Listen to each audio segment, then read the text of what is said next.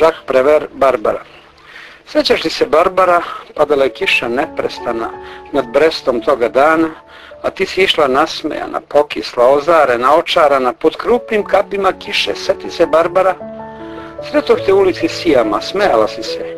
Ja sam se smejao. Sjećaš li se Barbara? Nisam te poznavao, a nisi ni ti mene. Sjećaš li se toga dana? I ne zaboravi ga. Jedan čovjek ispod neke kapije zaklonjen, viknuo je tvoje ime Barbara, a ti si potrčala ka njemu po kiši, pokisla, ozarena, očarana i bacila si mu se u zagrljaj. Sjećaš li se Barbara?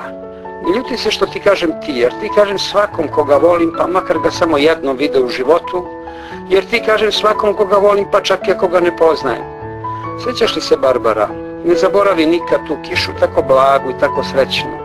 Na tvome licu srećnom, nad tim gradom srećnim, tu kišu nad morem, nad arsenalom, nad brodom iz Cesana, oh Barbara. Velika je svinjarija taj rat. I šta je sa tobom sada? Pod kišom od gvožđa, vatre, čelike i krvi?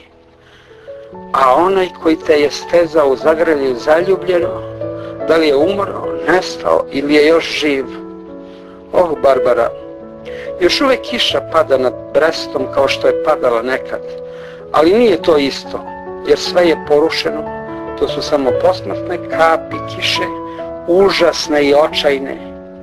A nije ni onaj potop više gvožđa, čelika, krvi, već prosto kiše iz oblaka koji nestaju kao psi, kao psi koji koje odnosi vodena struja iz Bresta da istrune negdje daleko, vrlo daleko od Bresta od koga nije ostalo ništa.